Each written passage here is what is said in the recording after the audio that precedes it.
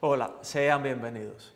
Soy Roberto Montesino y tengo el placer de compartir con ustedes una nueva emisión de Punto de Partida. No hay nada más importante para la historia y la cultura de los pueblos que sus raíces, esas que nos permiten conocer quiénes fuimos y lo que somos. Esas costumbres y tradiciones que con todo el amor del mundo debemos salvaguardar y con el mayor cuidado y respeto nos place mostrar. Es por eso que hemos llegado hoy hasta Centro Habana, lugar donde vive una persona con un vasto conocimiento acerca de este tema. Detén tu paso caminante, que hoy en punto de partida continuamos con nuestro ciclo Turismo Cultural y estaremos hablando precisamente sobre turismo y tradición.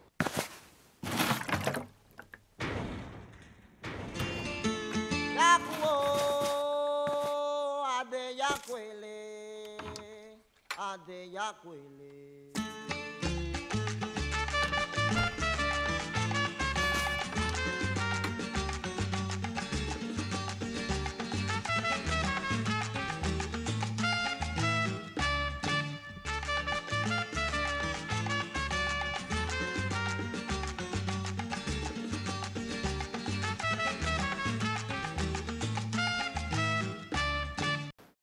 presentamos a nuestro invitado de hoy, al profesor Rafael Lara González.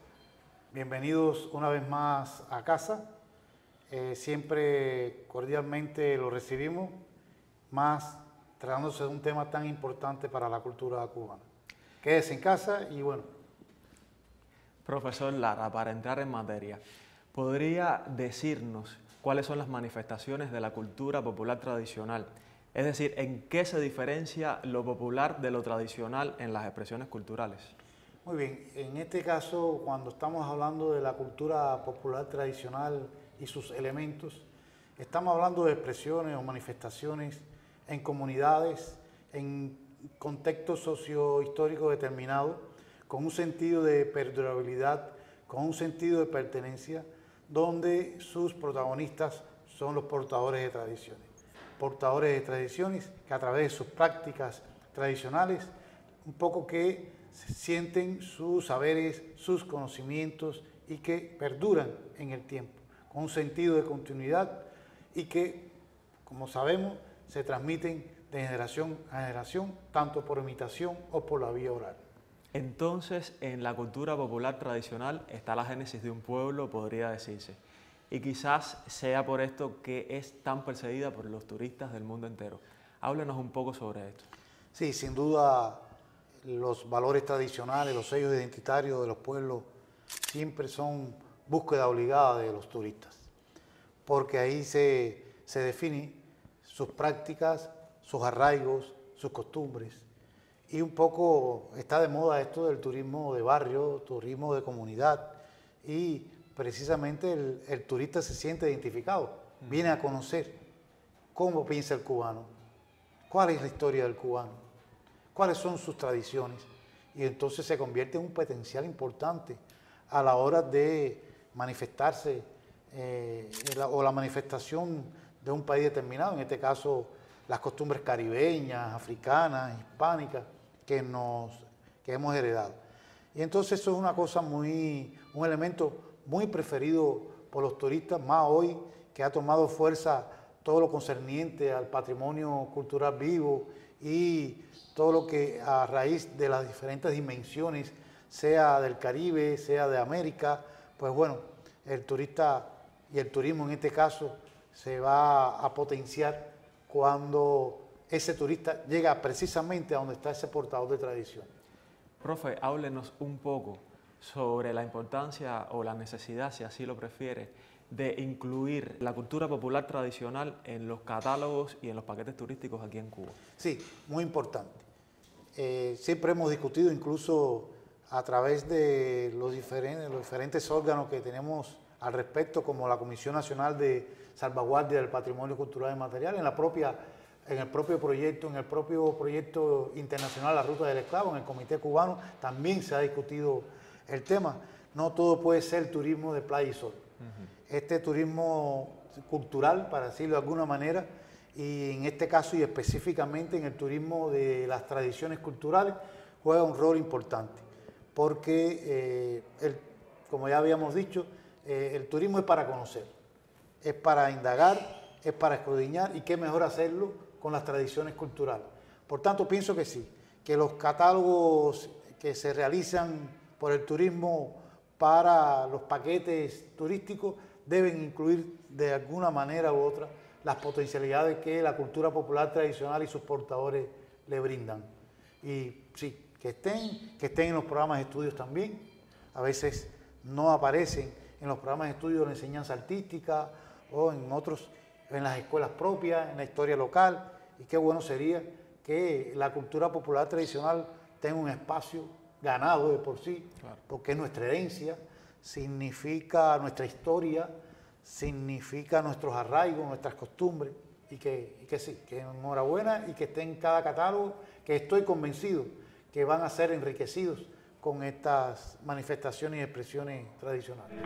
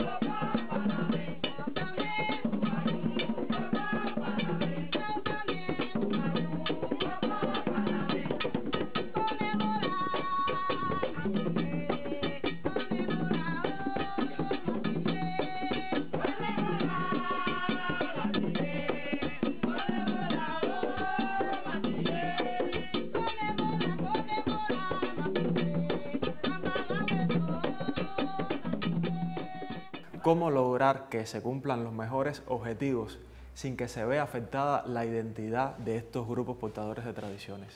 La mejor forma es aprovechar la potencialidad en la espontaneidad de estas agrupaciones.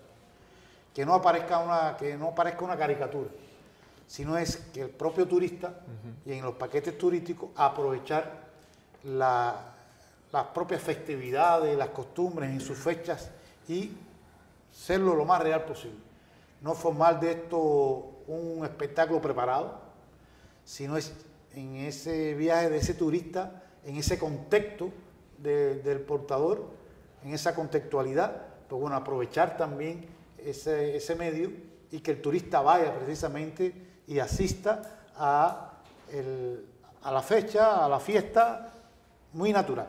O sea, si vamos a celebrar el 4 de diciembre en un cabildo de Santa Bárbara, que sea el 4 de diciembre cuando vaya el turista. No sé si me entiendo, es una, es una forma de ir a lo más real posible, porque la cultura popular tradicional se basa precisamente en eso, en lo real, en legitimar lo verdadero, en legitimar lo que verdaderamente significa, y, y esa es la propuesta que hago, o sea, que sea y aprovechar precisamente las características de esa agrupación, de esa familia, de ese portador, de esa festividad, de ese nicho eh, identitario y que bueno, si es, y respetar sobre todo todo ese proceder. Hay fechas significativas de esa expresión tradicional, que bueno sería que entonces el turista participe directamente en la práctica propia y acompañe también, o sea, parte de ese acompañamiento a esa agrupación o a ese hecho cultural o a ese bien cultural o a esa tradición específica que tiene sus características. Y no es menos cierto que a veces formamos lo que es la caricatura, o formamos lo irreal, y porque entonces viene el turismo y vamos a crear todos los días un paquete. ¿Para qué? Si esa expresión, ese nicho, ese elemento tradicional, tiene sus festividades, tiene sus fechas significativas, tiene sus momentos específicos que se respetan. Y entonces, ¿qué mejor respeto del propio turista visitarlo en esas mismas fechas significativas? Y aprovechar entonces esos paquetes, porque Cuba entera, creo que el año entero, con sus 98 agrupaciones portadoras, ¿cuántas festividades podríamos aprovechar? No es que sea la única. En esas 98 agrupaciones portadoras hay muchas festividades. Si ese mes la festividad que toca es las parrandas de remedio, vamos a las parrandas de remedio. Pero en el marco del 24 de diciembre, no esperar entonces una caricatura y preparar, y como se ha hecho a veces, y entonces preparan una parrandita porque se va a filmar o porque vienen los, los turistas. No, vamos a aprovechar que el paquete completo sea ese 24 de diciembre, en el marco de la propia festividad. O en Quebrahacha, aprovechar en, en agosto y aprovechar esa festividad con sus elementos. Hacia ahí debe ser el llamado en este sentido.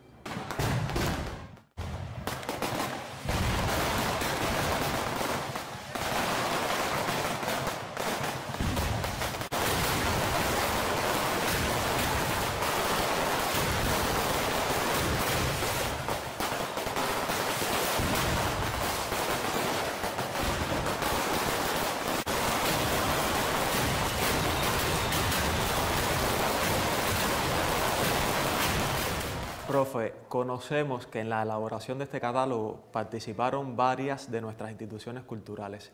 ¿Podría explicarnos qué elementos se tuvieron en cuenta a la hora de elaborarlo? Bueno, más que instituciones, eh, fueron personas que de, las comunidades cubanas, allá abajo, en los territorios, los municipios, han trabajado por más de 30 años la sinopsis de las diferentes expresiones tradicionales. Hablo de los metodólogos y especialistas de cultura popular tradicional de las casas de cultura, que, son los que llevan a cabo el protagonismo en el acompañamiento a estos portadores de tradiciones, no es un secreto para nadie. Y entonces es una, yo diría, una recopilación de más de 30 años de sacrificio, de trabajo, de no importar el polvo, ni el fango, ni el río crecido, para llegar a los corazones de estos portadores de tradiciones pero el sentido antropológico, la fundamentación demográfica de lo que significa esa agrupación portadora, la historia de esos portadores, de sus inicios, de su génesis hasta nuestros días, su repertorio, sus instrumentos musicales y sobre todo el significado que tiene para la cultura cubana esa expresión determinada.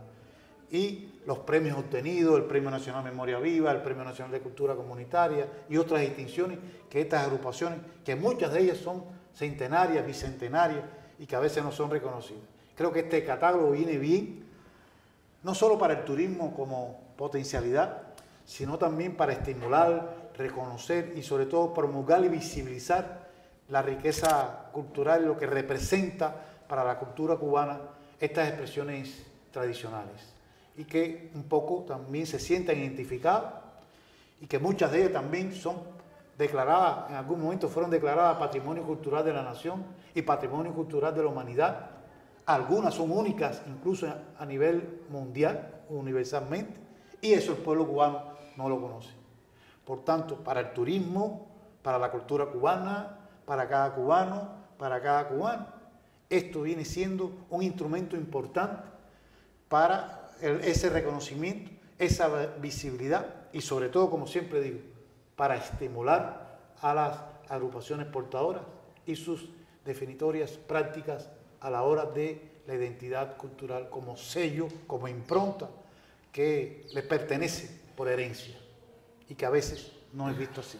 O sea, es una riqueza que sin lugar a duda nos reconoce ante el mundo y son las tradiciones culturales el escudo más importante cuando de cultura se habla. Entonces este catálogo viene un poco a resumir, a definir, a reconocer, a estimular a los portadores de tradiciones que a la vez está también estimulando y reconociendo a la cultura cubana, porque aquí está, como usted dijo ahorita, la génesis de nuestra identidad.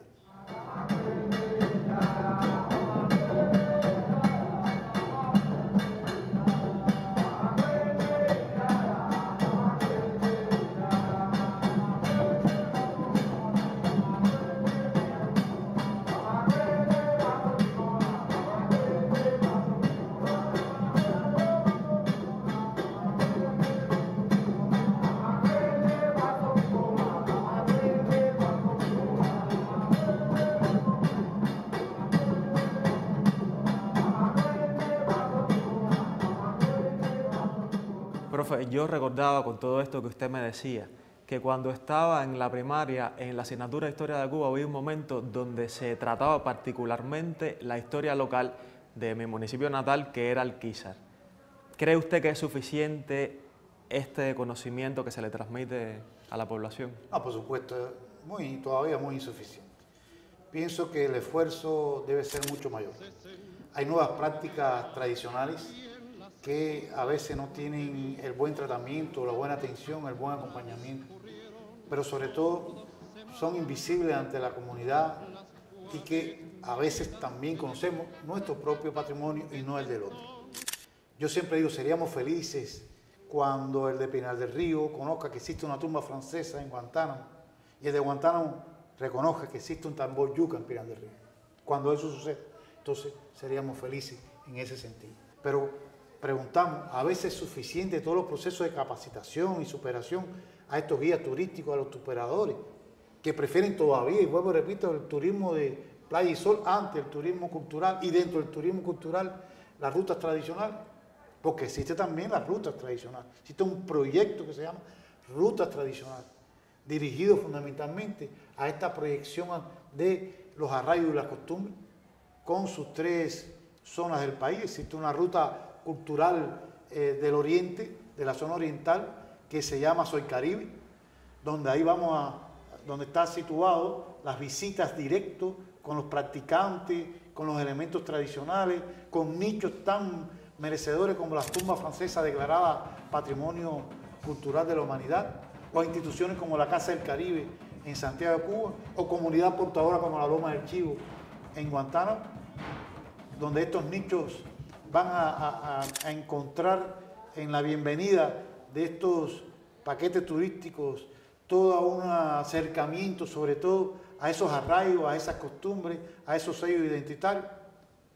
Vamos al centro y tenemos una ruta cultural de merecida importancia en este sentido, la ruta entre valles, montañas, pueblos y ciudades, donde ahí las parrandas, ya hablamos como fiesta popular, pero también las parrandas campesinas en Ciudad de Ávila, la fiesta de los bandos rojo y azul de Majagua, donde nichos tan importantes como los cabildos del centro del país, en Cienfuegos, en Trinidad, toda la riqueza de la lencería eh, femenina que encontramos en la artesanía popular tradicional en Trinidad, qué bueno sería que esos operadores un poco tuvieran más acercamiento y conocieran sobre todo eh, la importancia de esta práctica para un poco eh, viabilizar eh, que ese turista se acerca hacia estos nichos culturales, pero si vamos al oriente, vamos a encontrar la ruta cultural a las raíces, con visitas a Quebrahacha, donde se encuentra una de las expresiones más importantes en nuestro país, que es el tambor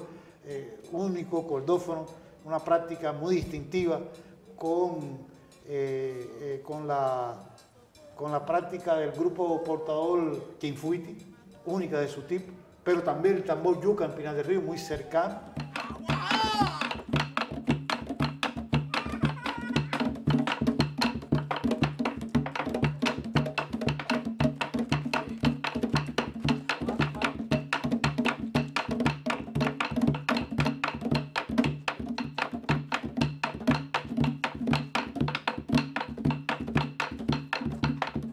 O sea, sin duda estamos hablando de nichos muy necesarios de nichos imprescindibles que definen la cultura popular tradicional de este país, que a mi criterio personal aún no se ha explotado todo lo que merece por el valor que tiene. No solo por el valor histórico y antropológico, sino por el valor hacia la cultura cubana, de la identidad del cubano, que en definitiva, como decimos al inicio, es lo que busca el turista. Ahí están las rutas, ahí están los portadores esperando, Ahí están las prácticas que de forma espontánea se celebran en su propio contexto. Y mi pregunta, ¿se aprovecha en su totalidad? Son buenas prácticas, son prácticas reconocidas por los propios eh, pobladores de esas comunidades y pienso que no se está aprovechando. Ahí está el catálogo, ahí están las rutas tradicionales. Qué bueno por el Centro de Superación que siempre está pendiente, otras instituciones se, ya, se ha llevado y se ha aprobado en la Comisión Nacional de Salvaguardia del Patrimonio Cultural y Material del Ministerio de Cultura o en la Comité Cubano de la Ruta del Esclavo, pero no es suficiente. Las escuelas, la enseñanza en sus diferentes eh, niveles, tiene que de alguna manera u otra incidir mucho más, ser más consecuente, que los planes de estudio sean más nutridos a través de estas riquezas culturales, ahí cercano, en Perico, Matanza, tenemos una agrupación única en el mundo, los Gangá de Perico. Si se pierde los Gangá, los de Perico, se pierde esa denominación etnográfica no solo en Cuba, no solo en América, sino en el mundo.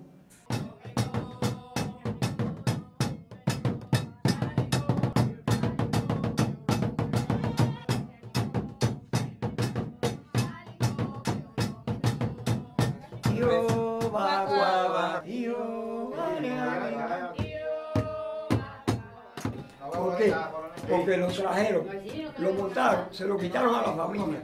Y es un lamento porque lo arrancaron de sus raíces. De su, país lo arrancaron. Y al arrancarlo de sus raíces, ¿en cuánto vienen con ese lamento? Con la transculturación y todas esas cosas vinieron distintas religiones y en, este pueblo se enfocó, se quedó entre la Arará y otra, se quedó Ganga.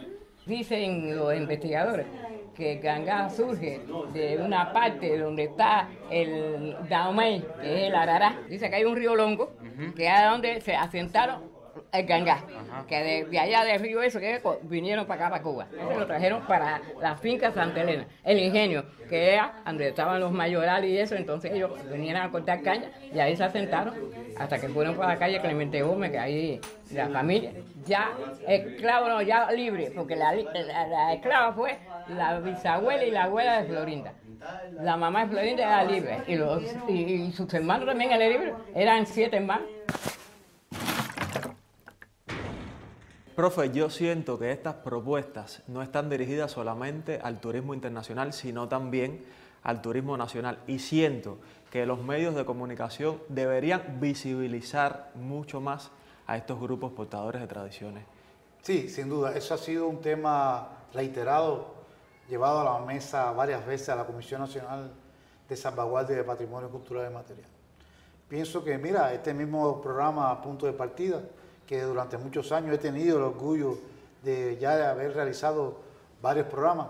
Creo que, ha sido fiel en este sentido, como el programa de Tarde en Casa, para citar algunos, y otro ya muy específico, eh, cuando recuerdo Orígenes, pero no es la media. Pero pienso que la mejor solución es crear un espacio fijo en la televisión cubana donde se trate estos temas.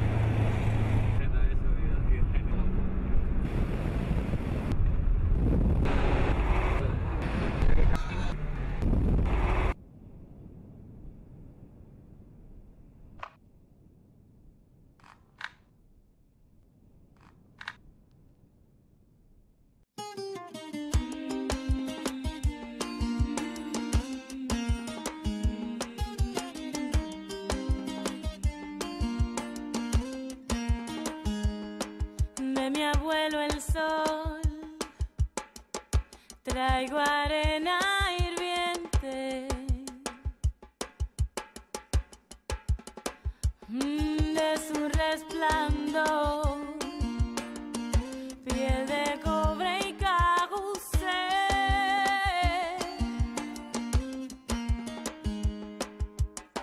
De mi abuelo astro rey, con su don de azar.